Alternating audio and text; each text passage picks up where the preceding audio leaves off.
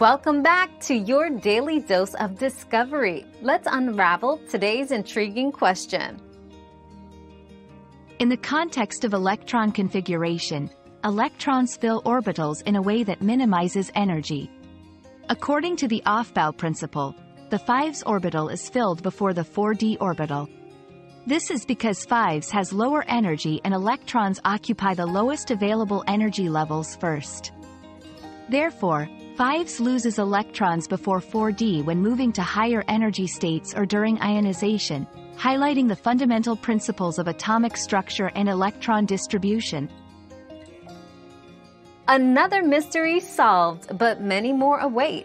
Keep up with our daily discoveries by subscribing and turning on notifications.